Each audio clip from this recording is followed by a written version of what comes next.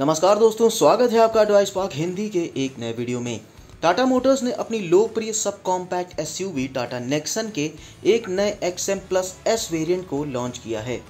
Tata Nexon XM plus S variant को नौ लाख पचहत्तर हज़ार रुपए की एक शोरूम कीमत पर उतारा गया है। XM plus S trim petrol और डीजल दोनों इंजनों में मैनुअल और ऑटोमेटिक गियरबॉक्स विकल्पों के साथ उपलब्ध है। Tata Nexon XM plus S के फीचर्स की बात करें तो इस वेरिएंट में इलेक्ट्रिक सनरूफ एंड्रॉयड ऑटो और एप्पल कारप्ले के साथ सात इंच का floating infotainment system four speak sound system cooled glove box rear AC vents rain sensing wiper auto headlamp digital instrument cluster multi drive modes 12 volt rear power socket और एक shark fin antenna दिया गया है। Tata Nexon की बात करें तो मौजूदा समय में इस कार की कीमत सात लाख पचपन हज़ार रुपए से तेरह लाख पंचानवे हज़ार रुपए एक शोरूम तक जाती है।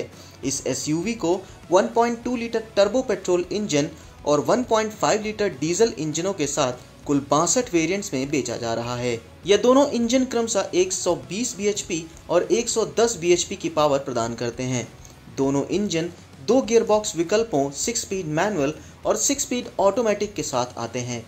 बिक्री के आंकड़ों को देखें तो टाटा नेक्सन कंपनी की सबसे ज़्यादा बिकने वाली कार है। इसके साथ ही यह देश में सबसे अधिक बिकने वाली चौथी कॉम्पैक्ट एसयूवी है।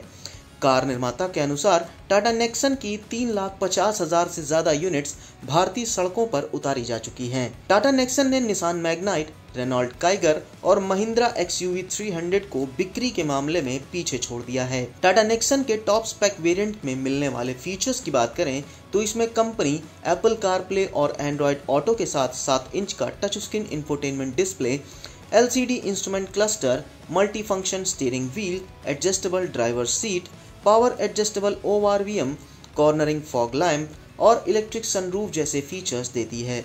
तो कैसा लगा आपको हमारा ये वीडियो? अगर आपको वीडियो पसंद आया तो इसे लाइक करें शेयर करें और कमेंट करके हमें बताएँ कि अगले वीडियो में आप किस व्हीकल के बारे में जानकारी लेना चाहते हैं।